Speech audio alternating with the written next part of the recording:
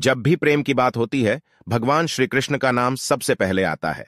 श्री कृष्ण को प्रेम और स्नेह का प्रतीक माना जाता है। पुराणों के अनुसार श्री कृष्ण की 16,108 रानियाँ थीं। श्री कृष्ण की मुख्य रानियों में रुक्मणी सत्यभामा का नाम शामिल है।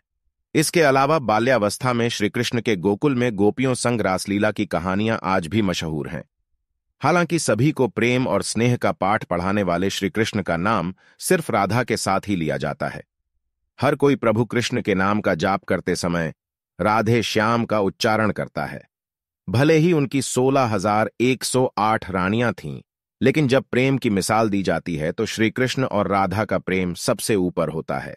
श्री कृष्ण और राधा की प्रेम कहानियाँ पीढ़ी दर पीढ़ी सुनने को मिलती हैं। लेकिन जब भी राधा रानी और श्री कृष्ण के प्रेम का ज़िक्र होता है तो यह सवाल ज़रूर मन में उठता है कि जब दोनों के बीच इतना प्रेम था तो कृष्ण ने राधा से विवाह क्यों नहीं किया? कौन थी राधा? पद्म पुराण के मुताबिक, राधा वृषभानु नाम के एक गोप की पुत्री थी। कुछ विद्वान मानते हैं कि राधा का जन्म यमुना नदी के पास स्थित रावल गाँव में हुआ था। बाद में उनके पिता बरसाना में आकर बस गए थे। हालाँकि कुछ लोगों का यह मानना है कि राधा का जन्म बरसाना में ही हुआ था। बरसाना में राधा जी को लाडली कहा जाता है।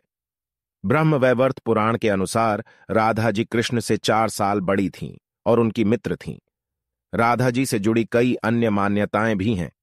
ब्रह्म वैवर्त पुराण के अनुसार राधा का विवाह रायाण नाम के व्यक्ति से हुआ था, जो कि माता यशोदा के भाई थे, यानी रिश्ते में राधा कृष्ण की मामी लगती थीं।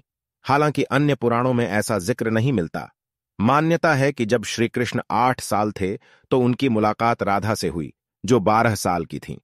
श्री कृष्ण राधा से प्रेम करने लगे। दोनों एक दूसरे से विवाह भी करना चाहते थे। जब ये बात राधा के घर वालों को पता चली तो उन्होंने राधा को घर में कैद कर दिया।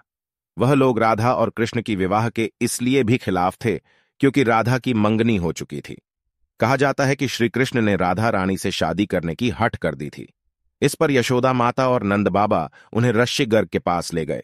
ऋषि गर्ग ने भी कान्हा को बहुत समझाया। इसके बाद कान्हा का मथुरा बुलावा आ गया। वह हमेशा के लिए वृंदावन छोड़कर मथुरा चले गए। उन्होंने राधा से वादा किया था कि वह वापस लौटेंगे, लेकिन वह कभी वापस नहीं आए। न ही राधा जी के मथुरा या द्वारका जाने का ज़िक्र मिलता है।